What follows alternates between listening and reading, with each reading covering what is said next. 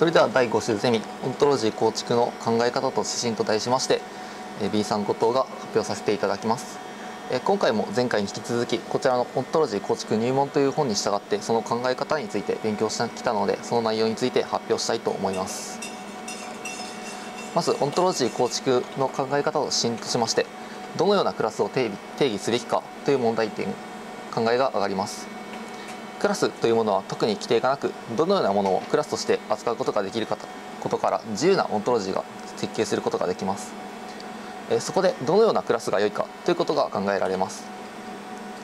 一般的にクラスとは理解や処理がしやすい定義になっていること。対象物の性質をできるだけ反映したクラス構造になっていることが一般的に良い構造となっております。そういったクラスを分類するためにこれらの3つの推奨基準について紹介していきたいと思います。まずクラス分類の基準の同一性から。基準の同一性とはあるクラス C1 のサブクラス C2、C3 の分類は同じ性質を参照していることを指します。でこの例は前回の自転車を、えーと、特殊化する際の用いた図になります、え、前回は自転車がシティサイクルかマウンテンバイクかであるを判断するときにハンドルという自転車の持つハンドルをの制約を変えることによりアップハンドル型だったらシティサイクルフラット型だったらマウンテンバイクというふうに特殊化しました。このようにあるクラスのサブクラスは同じこの場合でいうとハンドル概念クラスハンドルの制約の違いによって分類されていることが良いとされています。次にインスタンス集合のパーティション性について説明します。パーティション性とはサブクラスのインスタンス集合に重なりがなくスーパークラスのインスタンス集合がサブクラスのインスタンス集合で抜けなくカバーされていることを指します。例えばあるクラス C1 とそのサブクラス C2、C3 のインスタンス集合を IC1、IC2、IC3 としたとき IC2 と IC3 の積は空集合。IC2 と IC3 の和は IC1 となっていることを指します数式と文章では分かりにくいので図を用意しました左側がパーティションでない場合右がパーティションである場合を指していますパーティションでない場合はサブクラスの集合の和が IC1 となっておらずまた IC2 と IC3 に両方に属するインスタンスがありますあ失礼しましたこちらの青い点がインスタンスとなっていますパーティションである場合は C2 と C3 サブクラスがえ、そのスーパークラスで満た満たされていて、まあえ、サブクラスに重なりがありません。え次に本質属性について説明します。本質属性とはそれが損なわれるとそれ自身でなくなる性質のことを指します。例えば人間であることなどという性質が失われた場合それが何であるか分からなくなってしまいます。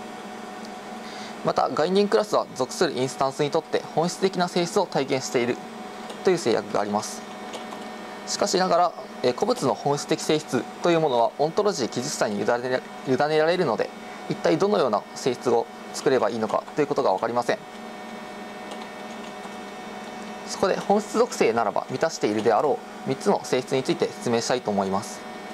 まず固定性から説明していきます。固定性とは本質属性の値はそのインスタンスがそれである限り変化しない。変化した時は異なるインスタンスになるというものです。例えば変化しない性としましては先ほどの人間時間が経っても変化しないもの。逆に変化するものとしては年齢だったり身長だったり時間によって伸び縮みしたり年を取ったりというものが挙げられます。次に非外部依存性について説明します。非外部依存性とは本質属性が古物自身だけを参照して定義できるもの。人間であるならば人間という概念を参照するだけそれが何であるか分かる。逆に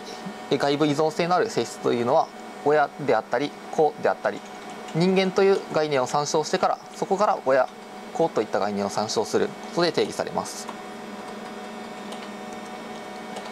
最後に唯一性について説明します。唯一性とは本質属性は概念クラス1つだけに認定される。またスーパークラスの本質性はサブクラスの本質属性の一部ではならないというものです。これらの性質から色数値の違いによる分類は望ましくないということが分かります。またこれらの性質は属性あ失礼しました。性質ではないです。属性性質関係として扱うものが適切であるということが分かります。例外としては二輪車のように二輪車四輪車のように数値の違いによって分類する概念もあります。でまたちょっとこれは例外としてはちょっと違うんですが馬は乗り物であるという文章に対して馬の上位概念が乗り物であるかそれとも生物動物であるのかといった判断する際、えー、確かに馬は乗り物ですが馬から乗り物という概念がなくなったとしてもそれが馬であるということが分かりますし正しく上位概念とは言えない。正しくは馬が乗り物としての役割を持つというふうに考えることができます。そういった役割を考えるためにこちらのロールというものを使います。でロールとは外部のものを参照できずに定義できない概念のことを指します。例えば前輪後輪であるなど。本来これは車輪ですが自転車車などに設置された時その前後関係を用いることにより初めて前輪後輪というものを定義することができます。また他の概念によって担われる役割を概念したものを指します。例えば自転車における人間というものは乗った時点で人間は操作者としての役割を持ち動力源として漕ぎ手としての役割を持ちます。ここでロール概念と定義という関係を図に表しました。ロール概念とは役割を果たすのに必要なものを概念化したものです。例えば教師というロール概念があった時その性質は役割と性質は担当教科名前勤続年数年齢などを持ちます。またこのロール概念と基本概念人間の名前身長年齢体重これらを合わせて参照することにより教師という新たな役割を概念として作ることができます。え次にインスタンスモデルにおけるロール概念の組織の仕方について説明します。形式としてましてはインスタンス名鍵えとしてロールホルダーというふうに記述されます。え下の左側の図のように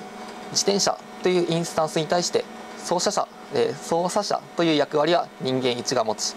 え漕ぎ手が人間1が持つ。このように同じ違う役割に対して同じインスタンスが持つ場合もあります。また長岡技術大学では教師ロールとして人間2生徒として人間1このように同じ人物であってもインスタンスが変わるごとにインスタンスが変わることによって担うロールが変わる場合もあります。これらの考え方を用いて乗り物としての馬を考えてみたいと思います。まず乗り物としを考える際に概念作用を考えます。そして、えー、作用のサブクラスである移動させる。さらにはそのサブクラスの人を移動させる。というものを考えていきます。そして乗り物を概念ではなくロールホルダーとして考えることを考えます。ここでロールホルダーはロールを担ロール役割を担っているもの。概念とロールロール概念を合わせたものというふうに考えてください。ここで動物のサブクラス馬と人を移動させるのインスタンス人を移動させる1に対して乗り物というロールホルダーに対して死体ロールというロール概念と馬を合わせて乗り物として定義します。また人間は対象物人を移動させる対象物と人間を合わせて乗客というふうに定義します。同様にして人工物の乗り物を考えることはできないのかというふうに考えましたが人工物の乗り物はそもそも移動させることを意図して設計されています。これはつまり移動させることがその乗り物としての本質であります。つまりこれは役割というふうには設計できず機能というふうに定義されます。このように乗り物ロール乗り物ロールホルダーとラベルは同じですが意味が異なるためこのようにロールでは定義できません。以上で発表を終わります。